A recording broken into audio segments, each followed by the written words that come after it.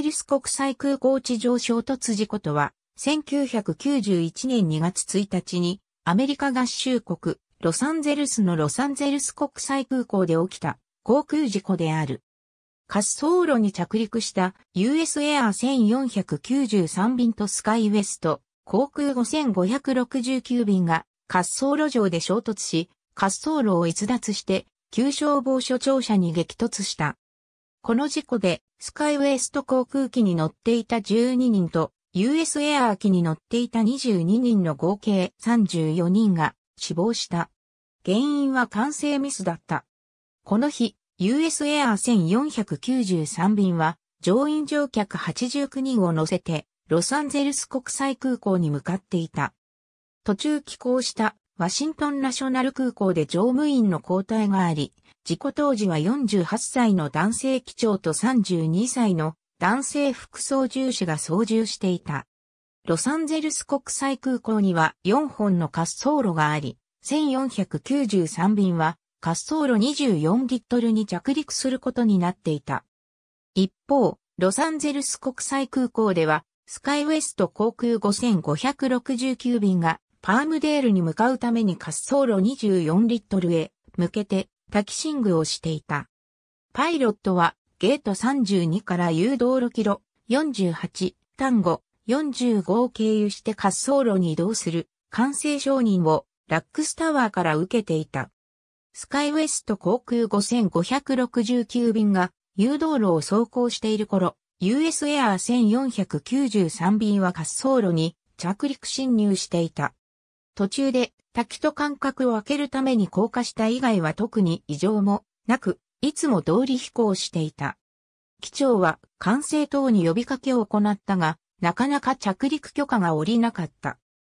というのも、この時ちょうど管制塔では、管制官に更新を求めてきた、ウィングスウェスト5072便の運行表が管制官の手元に届いておらず、管制塔内は作業量が増えたことにより混乱状態になっていた。着陸侵入を担当していた管制官は滑走路を見たが滝はいなかったため、ようやく1493便に着陸許可を出した。旧消防庁舎に衝突した1493便上空から見た残骸午後6時3分頃、1493便は滑走路24リットルの末端近くに着陸した。だが機種を下そうとした瞬間に滑走路上にいたスカイウエスト航空5569便を押しつぶすようにして衝突した。5569便は1493便の機種に押しつぶされ、下に巻き込まれたまま滑走路の左側に滑り、2機とも約400メートル先の急消防庁舎に激突して炎上した。5569便は1493便と比べて小型だったため、事故当初5569便が巻き込まれたことは誰も気づいていなかった。救助隊が消防庁舎の残骸の中からプロペラを発見したため、タノキに呼びかけたところ、5569便だけ応答がなかったため事故に巻き込まれたと判明した。NTSB の報告書からの US エアー1493便の座席表。この事故でスカイウェスト航空5569便に乗っていた乗員乗客12人の全員と US エアー1493便の乗員乗客22人が死亡し30人が負傷した。スカイウェスト航空5569便の乗員乗客12人全員は衝突の瞬間に即死していたが、US エアー1493便の乗員乗客は消防庁舎に激突した段階では機長を除いて生存していたことが分かった。しかし、スカイウェスト航空5569便の燃料と US エアー1493便のクルー用の非常用酸素供給システムから発生した酸素が反応し激しい火災が発生した。衝撃で非常口が変形したため機体の右側の非常口は使えなかった。後方の客室ドアが開けられたが火災が激しかったため、すぐに閉められた。使える非常口は、機体左側の前方出口だけだったが、開かなくなっていた非常口を開けて脱出した乗客もいた。国家運輸安全委員会の調査官によると、犠牲者のうち二人の乗客は席に座ったまま死亡していた。他の乗客もほとんどが有毒ガスを吸い込んで死亡したことが判明した。また機長は消防庁舎に激突した際、頭部を強く打って死亡していた。副操縦士は重傷だったが、コックピットの窓から消防隊に救助された。脱出に成功した乗員乗客の中には火傷を負っている者も多く、脱出した乗客のうち一人が数日後に火傷で死亡し、31日後にも一人が死亡した。なお NTSB では、事故後30日を超えた後の死者は事故による死者には数えないことになっている。事故原因は管制ミスである。当時管制塔はスカイウエスト航空5569便の求めに応じて滑走路24リットルの途中から離陸するため滑走路上で待機するように指示を出したが US エアー1493便が着陸する直前に 24R に着陸したウィングスウェスト機が周波数を変えたために更新不能になり、これの対応に追われていた。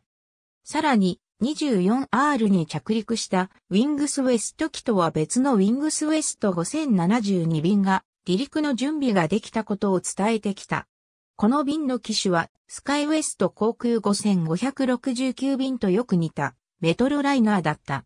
同じ管制官が5072便に位置を聞き、5072便は24リットルの手前の誘導路にいると答えた。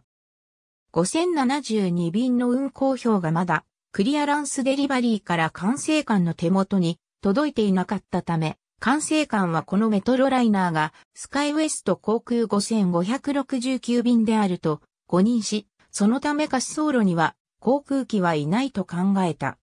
また、事故当日は地上レーダーシステムが機能しておらず、管制官は地上に滞在している機体がどこにいるのかを把握できていなかった。着陸侵入担当の管制官は NTSB に事故の責任を受け入れることを証言し、その後二度と管制官として戻ってくることはなかった。彼女はもともと US エアー機に仕掛けられていた爆弾が爆発したと思っていたが、その後上司に私はこれに US エアー機が衝突したと思いますと述べた。彼女は事故当時滑走道端にいたウィングスウェスト5072便をスカイウェスト航空5569便と取り違え、滑走路24リットル上には航空機はないと誤認して、最終侵入中の US エアー機に着陸許可を与えた。その後、着陸許可を受けた1493便は、滑走路に着陸5569便に後方から衝突した。また、事故当時は日没後であり、管制官が滑走路上の機体を探した際、滑走路の照明が眩しく、機体を見つけることは困難だった。また US エアー1493便から見た場合、滑走路上の照明と5569便の衝突防止灯や後方灯が直線上に重なっていたため、着陸前に機体に気づくのは困難だった。この事故の前、連邦航空局は機体の内装材料の何年生基準を引き上げるということを決めていたが、US エアーの機体はこの要件の発行日以前に作られていた上、近代化されていなかった。US エアーは事故機を翌年中に回収する予定だった。ありがとうございます。